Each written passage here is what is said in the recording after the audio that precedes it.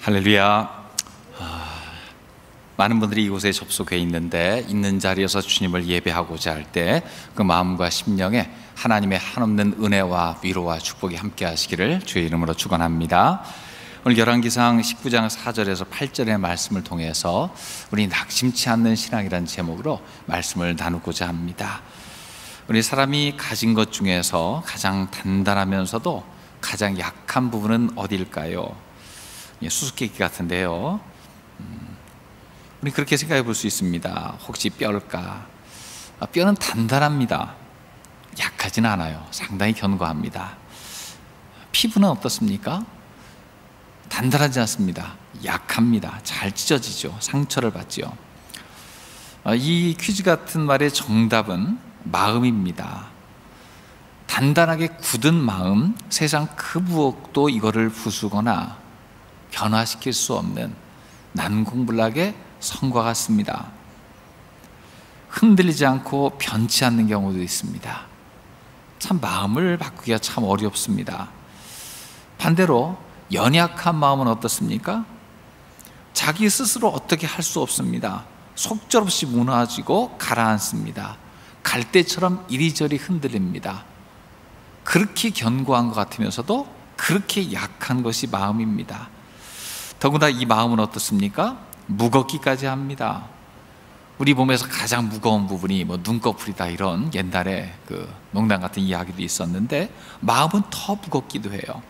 한번 가라앉은 마음은 바닥서 움직이지 않는 요지부동일 경우가 참 많습니다. 마음이 가라앉아서 움직이지도 못하는 상태를 우울증으로 칭하기도 하지요. 슬픈 상태 혹은 어떤 충격을 받은 상태 때문에 마음이 굳어져서 그 유연성을 잃어버린 침체하여 바닥에 가라앉은 것 같은 그런 상황입니다. 그런데 오늘 본문에 나오는 엘리야는 현재 어떤 상태입니까?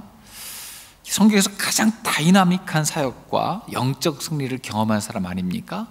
그는 그가 기도할 때 죽은 아이가 살아났습니다. 왕이 그를 죽이려 찾아도 신출 귀몰 사라져서 찾을 수가 없었습니다. 갈멜산에서는 850대 1의 영적 전쟁에서 승리했습니다. 그 기도할 때에 3년 6개월 동안 오지 않던 비가 한순간에 하늘문이 열리고 비가 왔습니다. 그는 사명 따라 살았고 기적을 일으키는 믿음도 늘 체험했습니다. 그런데 그가 심한 마음의 병을 앓고 있습니다.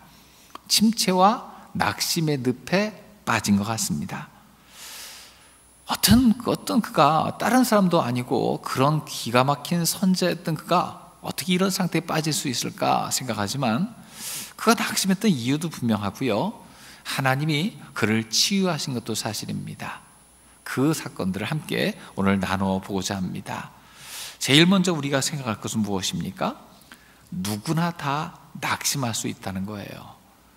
엘리야도 그랬다면 우리도 낙심할 수 있고 누구나 다 낙심, 낙담의 처지에 빠질 수 있다는 거예요. 오늘 본문의 엘리야는 어떤 처지입니까? 오늘 본문에서 만나는 엘리야의 모습, 영적 전쟁의 승리자의 모습보다는 좀 더 초라한 모습이에요. 오늘, 오늘 본문 열왕기상 19장 4절에 보면은요, 이렇게 나와 있습니다. 자기 자신은 광야로 들어가 하룻길쯤 가서 한 로뎀 나무 아래 앉아서 자기가 죽기를 원하 이르되 여호와의 넉넉하오니 지금 내 생명을 거두시옵소서 나는 내 조상들보다 낫지 못하니이다 하고 그렇게 이야기하고 있어요. 지칠 대로 지친 선지자 차라리 나를 데려가 주세요. 나는 지금 죽는 것이 훨씬 나을 것 같습니다. 그렇게 이야기하고 있어요. 세상을 떠들썩하게 만들었던 어마어마한 선지자의 모습보다는 연약한 한 중년 남성의 모습, 낙심하고 지친 채로 서 있는 한 자연인의 모습으로 지금 서 있죠. 위대한 하나님의 일을 한 선지자라고 해도 그는 원래 평범한 사람이었습니다. 하나님께 쓰임 받고 있을 뿐이지 본질은 우리와 동일한 사람이었을 뿐입니다. 엘리야가 하나님 앞에 쓰임 받고 충성할 때는 어떤 모습이었습니까? 야고보 사도는요 그의 모습을 그렇게 소개하고 있어요. 야고보서 5장 17절에 보면은요 우리 있는 자리에서 한번 읽어보시죠. 엘리야는 우리와 성정이 같은 사람이로되 그가 비가 오지 않기를 간절히 기도한즉 3년 6개월 동안 땅에 비가 오지 아니하고 여기서 보면은요 엘리야에 대해서 우리와 성정이 같은 사람이다 그렇게 이야기하고 있어요. 우리와 동일한 육체의 한계 가운데 있고 우리와 동일한 마음을 지닌 약한 사람이란 뜻이에요. 엘리야가 그랬다면 우린 더더욱 그렇잖아요. 우리도 연약한 몸과 육체와 마음과 이 시간과 공간의 한계를 지니고 사는 사람입니다. 그러니까 위대한 하나님의 선자로 쓰임 받았던 엘리야가 낙심하고 지치고 그랬다면 우리도 동일하다는 것입니다. 지칠 수 있고 낙심할 수 있고 혹은 일하기 싫을 수도 있어요. 교회에서도요 힘써서 사역을 감당하면서 충성하고 힘씁니다. 아 그러다가 뜻하지 않은 인생의 문제가 닥치면 어떻습니까? 그 문제가 자기를 짓누를 때에 다 포기하고 싶을 때도 있어요. 죽고 싶다 생각할 때도 있고요. 모든 것을 내려놓고 살고 싶은 그런 순간도 있었다는 거예요. 얼마 전까지는 희망과 의욕에 넘쳐 살았는데 어느 순간 모든 것이 무의미해져 보이고 그런 순간이 올 수 있다는 겁니다. 예수 믿고 구원받아 봉사의 기쁨, 사역의 보람을 느낍니다. 그런데 어느 순간 속상한 일이 생기고 내가 노력해도 인정도 못 받는 그런 일 가운데 부딪힐 때에 우리는 낙심할 수 있어요. 엘리야처럼 금방 그만두고 싶은 마음이 생길 수 있어요. 그래서 엘리야의 모습을 살펴보는 것은요, 바로 나 자신의 모습을 비춰보는 것과 같다. 그렇게 생각할 수 있죠. 열심, 낙심, 침체 사이클 속에 살아가는 우리의 모습과 크게 다르지도 않다 생각할 수 있습니다. 누구나 낙심할 수 있어요. 엘리야조차도 낙심한 경우가 있습니다. 하지만 그의 삶을 통해서 우리 낙심의 원인도 찾고 극복의 길도 찾을 수 있지 않을까요? 코로나가 진정되지 않고 계속 기승을 부리고 있습니다. 그것을 극복하기 위해서 열심히 또 절제하며 살았습니다. 어느 누군가가 잠시 방심하고 한 사이에 걷잡을 수 없이 또 감염이 확대되어서 정상화 돼 가던 예배와 또 교회 현실도 다시금 어려움에 빠졌습니다. 오히려 오염과 전염에는 별로 관련이 없는 오히려 더 정결하고 깨끗하게 예배드리던 교회가 더 큰 피해를 받아서 문을 닫는 것 같은 현실에 처해진 게 현실입니다. 온라인으로 숨통을 튀어놨다고는 하지만 영적인 갈급함은 더합니다. 그런 속에서 우리의 영혼도 넘어질 수 있고 침체할 수 있고 낙심될 수 있습니다. 그럼에도 어떻게 일어설 수 있을까요? 이렇게 열심히 있던 엘리야도 큰 낙심 가운데 빠졌었다면 일단 우리도 그럴 수 있다. 그런 현실은 언제나 닥칠 수 있다라는 것을 기억해야 됩니다.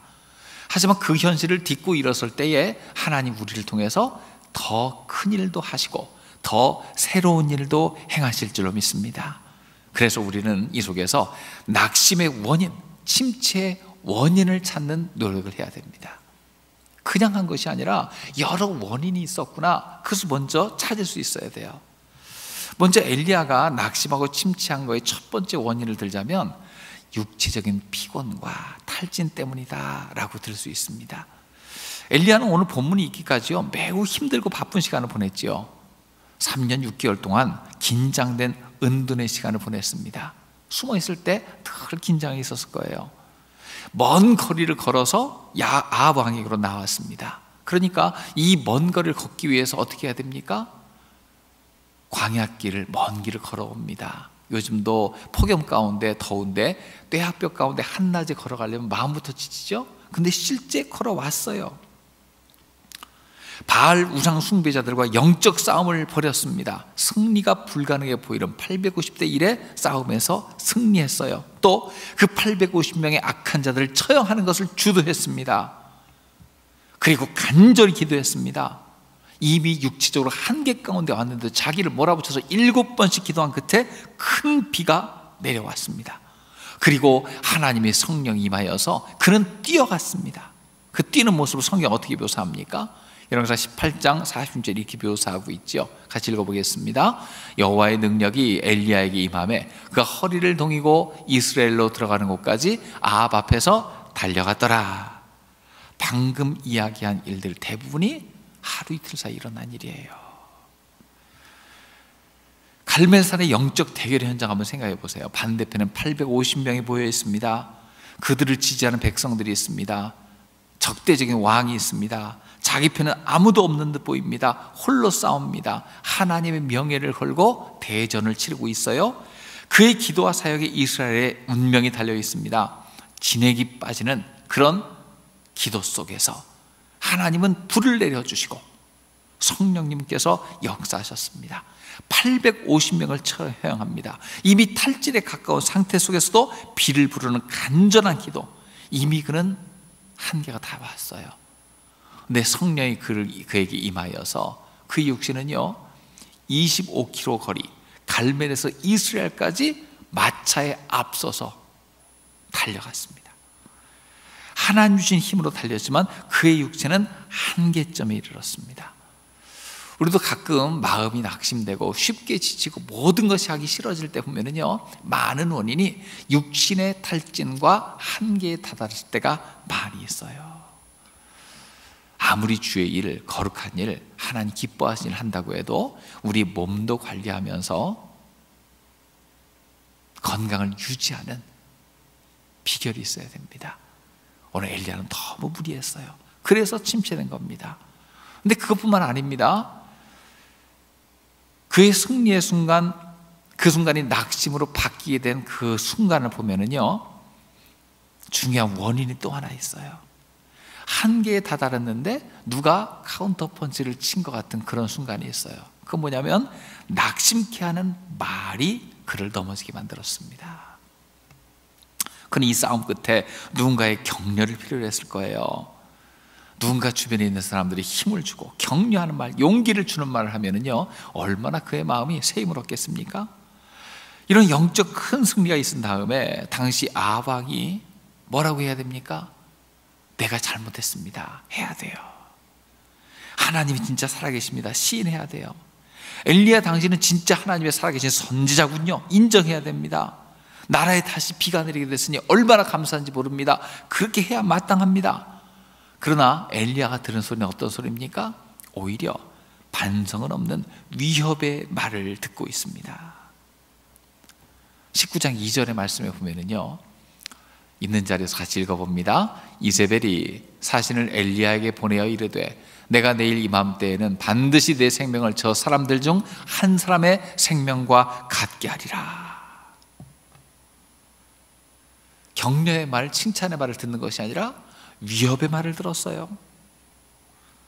이 말은 그를 낙담시키고 낙심시킵니다.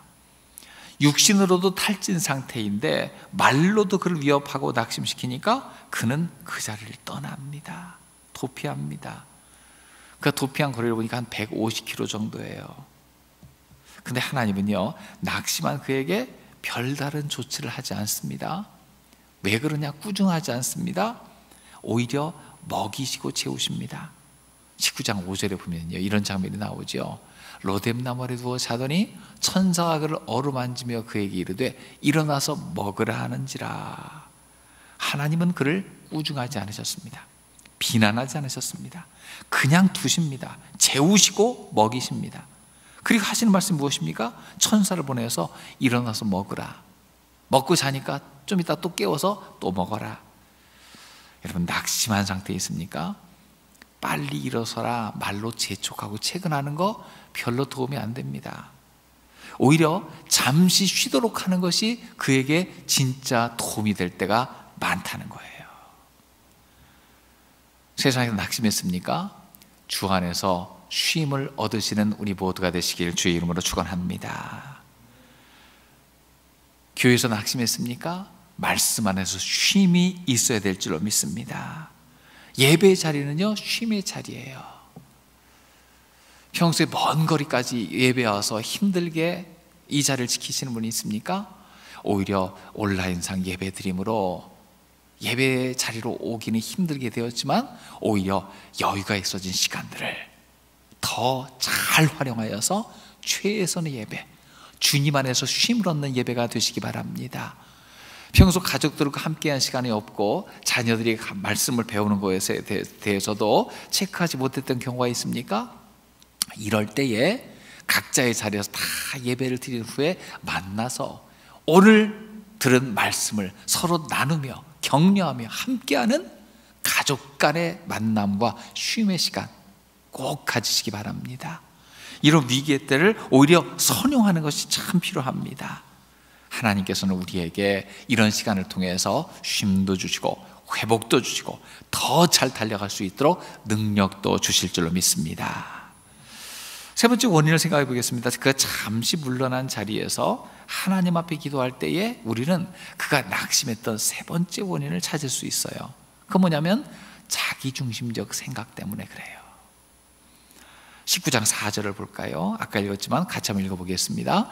자기 자신은 광야로 들어가 하룻길쯤 가서 한 로뎀나무 아래 앉아서 자기가 죽기를 원하 이르되 여호와여 넉넉하오니 지금 내 생명을 거두시옵소서. 나는 내 조상들보다 낫지 못하니이다 하고. 자 나중에 그의 하나님 앞에 드리는 항변을 보면은요 그런 내용이에요.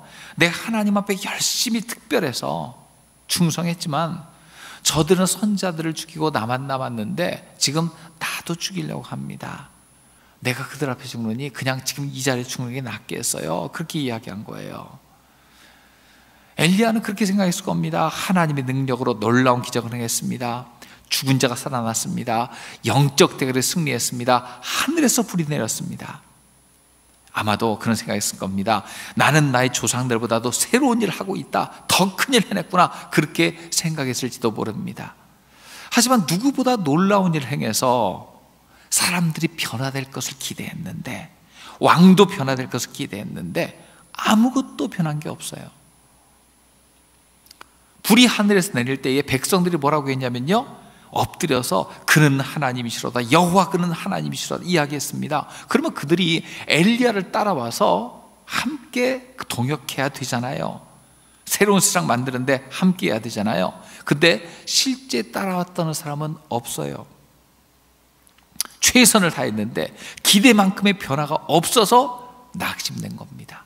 자기 연민의 상태에서 떨어진 겁니다. 교회 사역하면서 그런 생각을 해요. 열심히 말씀도 전하고 설교도 하고 여러 프로그램도 하고 열심을 냈는데 큰 변화가 보이지 않아요. 기대만큼 결과가 없어요. 그럼 낙심될 때가 있습니다. 교회에서도 목자로 사역하고 교사로도 찬양팀으로도 열심히 사역했는데 사람들이 기뻐하고 은혜만 받는 것이 아니라 잘하네 못하네 어쩌네 이야기예요. 낙심이 돼요. 그러나 이럴 때 꼭 깨달을 것이 있습니다. 하나님은 엘리야에게 어떤 성과를 내라고 부르신 것이 아니라는 거예요. 어떤 가시적 성공을 이루라고 보내신 것이 아니라는 거예요. 하나님이 그를 부르신 목적은 무엇입니까? 그, 그가 있는 자리에서 최선을 다해서 순종하고 충성하도록 부르신 줄로 믿습니다. 그는 열심 다하면 됩니다. 잘하고 열매 맺게 하시는 것은 하나님이시고 그때를 주관하시는 것도 오직 하나님이신 줄로 믿습니다. 우리 역할은 무엇입니까? 내가 선 자리에서 최선을 다하면 돼요. 하나님은 엘리야가 하나님 명령을 충성되이 변함없이 감당하는 것을 기대하신 거예요. 고린도서 3장 6절에 이런 말씀이 있어요. 나는 심었고 아볼로는 물을 주었을 때 오직 하나님께서 자라나게 하셨나니 하나님이 자라게 하신다는 거예요. 내가 할 것은 무엇입니까? 있는 자리에서 최선을 다하는 거예요. 하나님 때와 목적을 갖고 계십니다. 나는 주어진 자리에서 충성할 뿐이에요. 그런데 엘리야는 잠깐 이걸 놓쳤어요. 나는 순종만 하면 되는데, 충성만 하면 되는데, 내가 이래서 뭔가 성과 열매까지 있어야 된다는 그런 생각에 사로잡혔던 거예요. 그는 순종만 하면 되고요. 하나님 열매 맺게 하실 건데 자기가 그것도 거두고 싶었던 그런 자기 중심적 생각 때문에 실족했던 겁니다. 그의 낙심과 도피는 결정적으로 무엇을 보았기 때문입니까? 주위 상황을 봤기 때문에 그래요. 19장 3절 볼까요? 19장 3절입니다. 같이 읽어보겠습니다. 그가 이 형편을 보고 일어나 자기의 생명을 위해 도망하여 유다에 속한 부엘세바에 이르러 자기의 그곳에 머물게 하고 자 여기서 보면은요 그가 이 형편을 보고라고 나왔죠 이 형편은 무엇입니까? 자기가 기대하는 일은 일어나지 않고 오히려 이세벨이 더 악해져서 자기를 죽이려는 현실 회개와 부흥을 기대했는데 대신에 위협이 있고 그 시대의 변화는 일어나지 않은 것 같은 그 현실, 그 형편을 보고 일어났습니다. 그래서 도망간 거예요. 하지만 그는 지금 잘못 봤던 거예요. 그리고 지금까지 봤던 초점을 잃어버렸던 거예요. 그는 지금까지 무엇을 보고 살았습니까? 그 전까지도 악한 현실은 계속되었어요. 하나님을 적대하는 형편은 계속되었어요. 그런데 그것을 보고 살지 않았습니다. 무엇을 보고 살았습니까? 그럼에도 그 뒤에 하나님이 일하고 계시다, 역사하고 계시다, 하나님을 보고 살았습니다. 그래서 중과 부적의 영적 싸움에 싸워 이길 수 있었던 거예요. 그러나 지금 그는 무엇을 봤습니까? 그 뒤에 계시는 일하고 계시는 하나님을 보지 않고 당장 눈앞에 있는 위협의 현실만 보고 도망간 거예요. 이세벨의 위협이 보입니다. 근데 여기서 그가 하나님 보지 않고 이세벨만 보니까 진짜 봐야 될 초점을 잃어버린 거예요. 자세히 그 배경을 보면 어떻습니까? 이세벨의 큰 소리 치는 위협은 오히려 두려워서 치는 소리 아니겠습니까? 엘리야를 죽이리라, 내일 죽이리라 위협하고 있는데요. 한번 생각해 보세요. 진짜 죽이려는 마음이 들었다면 군인을 보내서 그 자리에서 죽이면 돼요. 근데 지금 당장 죽이지 않고 사신을 보내어서 내일 이맘때 죽이리라. 이건 뭡니까? 하나님이 또 역사하실까봐 두려운 거예요. 이걸 볼 수 있어야 됩니다. 이세벨도 하나님이 두려워서 위험만 가하고 멀리서 관망하고 있어요. 근데 그 순간 하나님이 역사하심 적은 두려워 떨고 있는 현실 이걸 본 것이 아니라 변하지 않는 현상 가운데 그는 낙심한 거예요 낙심하니까 자신이 연약함만 보이고 주위 환경의 부정적인 면만 보입니다 내 앞에 문제만 집착하여서 그 환경을 볼 때에 우리는 눈의 초점을 잃어버려서 그 뒤에서 지금도 일하고 계시는 하나님이 보이지 않는 거죠 여러분, 나는 현실에 갇혀서 하나님 보는 눈이 가려져 있지 않습니까? 아니면 그 현실을 새롭게 바꾸실 수 있는 능력의 하나님을 바라보고 있습니까? 이 시선의 차이가 그의 낙심의 차이와 용기의 차이를 갈라놓습니다. 베드로가 물 위에서 예수님만 보고 예수님의 하신 명령만 들었을 때는 물 위를 걸었습니다. 하지만 주위의 파도를 보았을 때에 즉시 빠져들어갔습니다. 여러분 현실 그 너머에서 지금도 나를 도우시는 하나님 바라보며 침체를 이겨낼 수 있는 우리 모두가 되시기를 주의 이름으로 축원합니다. 이 침체의 원인 네 가지를 살펴봤다면요, 우리는 무엇을 볼 수 있습니까? 낙심을 이기는 신앙도 가질 수 있습니다. 문제를 발견했으면요, 그 문제를 대적하여 싸울 때에 하나님께서 우리에게 승리를 주신다는 거예요. 침체대 엘리야는요 하나님의 산 호렙에 가서 하나님을 새롭게 만납니다. 그리고 거기서 낙심, 침체의 상태를 벗어나서 새로운 사명을 가진 사람이 됩니다. 그럼 어떻게 이 침체를 이겨냅니까? 침체 극복의 첫 번째 원인을 보면요, 그는요 하나님의 음성을 듣습니다. 열왕기상 19장 12절 말씀 보면은요, 같이 한번 읽어보겠습니다.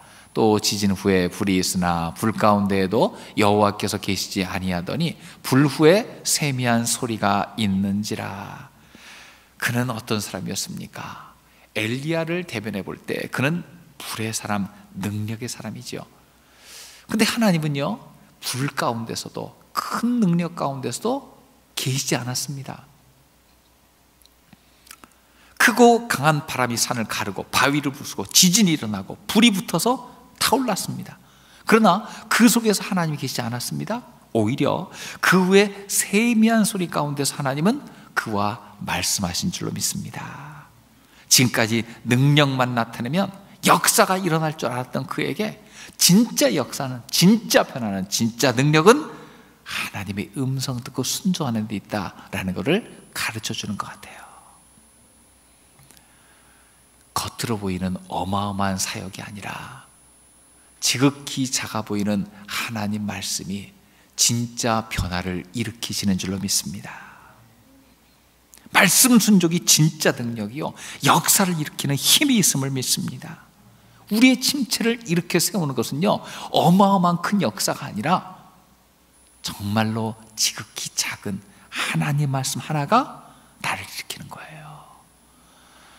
여러분, 매일매일 있는 삶의 자리에서 꾸준히 하나님 말씀을 읽고, 묵상하고, 듣고, 순종하게 힘쓰시길 주의 이름으로 축원합니다. 오늘도 주일날 예배 자리에 내가 내 발로 나오지 못했다 할지라도 내가 있는 그 자리에서 하나님 말씀 듣고 그 중에서 정말로 세미하게 들려지는 말씀 한 구절을 내 마음에 붙들고 심고 살면 그 말씀이 내 인생을 변화시키고 내 미래를 바꿔놓고 내 자녀의 운명을 결정짓는 말씀이 될 줄로 믿습니다. 그렇게 나에게 심어진 말씀을 자녀들에게 이야기하고 선포할 때에 성령께서 그 가운데 역사할 줄로 믿습니다. 아이들과 얘기를 너 공부 잘하냐? 너 커서 뭐 되려고 그러냐? 이런 얘기만 하지 마시고 능력 있는 하나님 말씀 전해주며 하나님이 함께 하시면 너는 기필코 잘 된다. 인생이 분명히 바뀐다. 하나님 널 통해서 일하신다. 세상이 바뀌는 것은 다른 게 아니다. 하나님이 함께 하시면 된다. 부모님이 이런 말로 아이들을 격려해주고 힘을 주고 능력을 줄 때에 역사가 일어납니다. 변화가 일어납니다. 맨날 공부해라. 게임하지 마라. 이런 얘기만 하는 것이 아니라 능력 있는 하나님 말씀을 선포해 주시고 그 말씀이 정말 잠결에 들리는 것 같을지라도 그의 영혼을 통과하여 그 일생을 변화시키는 능력이 될 수 있다는 거예요. 변화는 낙심을 이기는 신앙은 하나님 말씀에 있습니다. 그에게 또한 힘을 내게 한 하나님의 조치는 무엇입니까? 사람을 세운 거예요. 19장 16절에 보면은요. 같이 읽어보겠습니다. 너는 또 님시의 아들 예후에게 기름을 부어 이스라엘 왕이 되게 하고 또 아벨 몰라 사바스의 아들 엘리사에게 기름을 부어 너를 대신하여 선자가 되게 하라. 엘리야가 지금까지 힘들었던 이유는요 홀로 사역했기 때문에 그래요. 혼자 사역하는데 익숙한 사람입니다. 물론 워낙 대적도 많고 표적이 되니까 혼자 있는 게 편할 수도 있었겠고요. 하지만 동역자도 별로 없었고요. 기존에 의리자고 교류하던 하나님 사람들 아비 속속들이 잡아 죽여 없앴어요. 그러니까 나 혼자 있는 게 낫지. 그랬을지도 몰라요. 홀로 견뎠습니다. 버텼습니다. 그런데 하나님이 이제 사람을 세우라고 구체적으로 명령하시네요. 악한 아합의 정권을 무너뜨릴 사람으로 예후를 기름 부어 왕으로 세워라. 그리고 그를 이어서 선자를 할 만한 사람 엘리사의 기름을 부어 선자로 세워라. 사람을 세우게 하십니다. 혼자 일하기보다 같이 일할 때 더 큰 능력이 나타나는데 동역의 원리를 가르쳐 주시고 그런 사람을 세워서 일하게끔 격려하십니다. 아, 이제 나 혼자 일하는 것이 아니라 이 일을 대신할 사람이 있구나. 내가 못하는 일을 감당할 만한 사람을 하나님은 이미 아시고 세워주시는구나. 여러분, 동역하여 하나님 주신 힘으로 어려운 일을 잘 감당하는 체험이 있으시길 주의 이름으로 축원합니다. 마지막으로요. 낙심을 이기 위한 또 다른 든든한 기반은 무엇입니까? 하나님의 섭리 중에 일하시는 걸 보여주셨어요. 19장 18절 말씀 보겠습니다. 같이 읽어봅니다. 그러나 내가 이스라엘 가운데 7천 명을 남기리니 다 바알에게 무릎 꿇지 아니하고 다 바알에게 입 맞추지 아니한 자니라.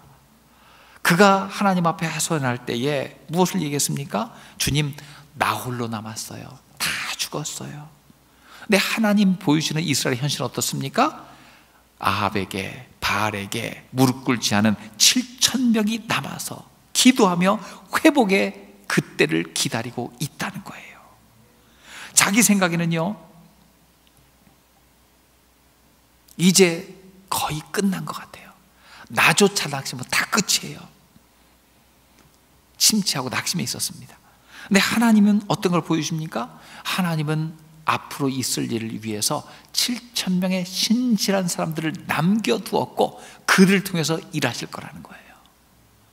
목회자로서 한국교회 현실과 뭐 세상을 보면 그렇습니다. 한국교회가 성장이 이미 멈췄다 그래요. 침체되고 있다고 하고 교회 학교 숫자가 줄어든다고 온갖 부정적 얘기 많아요. 물론 그 현실일 수 있습니다. 하지만 우리가 기도하면서 하나님이 역사하실 거 생각하면 어떻습니까?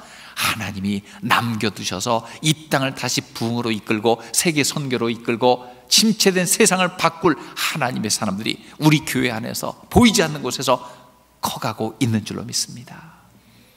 조만간 1층 리모델링을 시작하려고 하는데 무엇 때문에 그렇습니까? 그것을 통해서 우리 자라는 자녀들이 더 좋은 환경에서 하나님 말씀 붙들고 승리하는 자녀로 만들고 싶은 욕심이 있습니다. 하나님이 그들 통해서 새 역사를 이루실 줄로 믿으시기 바랍니다.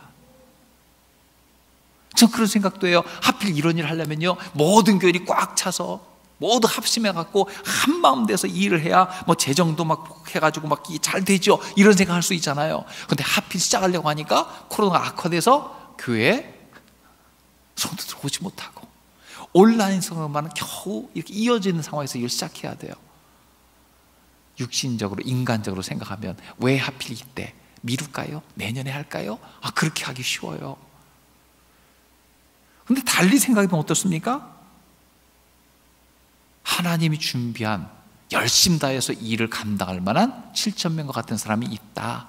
오히려 문 닫았을 때가 더 좋다. 사람들이 오가면서 먼지 마시지 않고 다치지 않고 아이들도 방학이고 오히려 이때가 좋다. 더 열심히 최선 다해라. 그럴 수도 있지 않습니까? 하나님께서 준비된 모든 성도들의 마음과 헌신을 통해서 우리 자녀들을 기를 수 있는 복된 기반이 마련될 줄로 믿으시기 바랍니다. 다음 주쯤 한번 그려진 청사진을 예배 시간에 영상이지만 다 보면서 기도 제목 나누고 앞으로 일들을 계획하고 헌신을 다짐하는 시간을 갖고자 하는데 하나님이 일하실 줄로 믿습니다. 우리는 여건 속에서 보면 안 될 조건, 실패할 것만 같은 상황들 계속 밀물처럼 밀려와요. 그것만 바라보면 낙심합니다. 아까 엘리야가 그랬던 것처럼 그 현실을 보고 도망가고 싶습니다. 하지만 그 이면에 계신 하나님 보면 하나님이 일하시면 이게 문제인가? 무에서 유를 창조하시며 없는 걸 만드시는 분이신데 그리고 하나님 앞에 열심을 기도하며 준비하다가 추진하려고 하는데 하나님이 일을 방치해 두시겠는가? 여러분 하나님은 일하시고 역사하시고 더 좋은 것을 우리에게 선물로 주실 줄로 믿습니다. 우리 낙심치 말고 하나님의 더 큰 계획의 일부로서 쓰임 받는 자리에 서야 될 줄로 믿습니다. 우리 주변에서 늘 어려운 상황 닥쳐요. 지금의 전염의 상황보다 더 어려운 파도가 있을 수도 있습니다. 교회적으로도 참 어려움들 닥칠 수 있고요. 앞으로도 그럴 거예요. 그럼에도 우리는 주변의 환경 바라보기보다 이 모든 것을 주관하고 계시는 하나님 한 분만 바라봅니다. 하나님 우리와 함께 하시면 주님께서 역사하셔서 더 복된 결과가 나올 줄로 믿습니다. 이런 믿음 가지고 지금의 위기를 지금의 감염의 파도를 또한 우리 앞에 놓여진 사명을 낙심하지 않고 잘 만들어 가서 주님 앞에 칭찬되는 모든 성도들 또 모든 교우들 다 되시기를 주의 이름으로 축원합니다.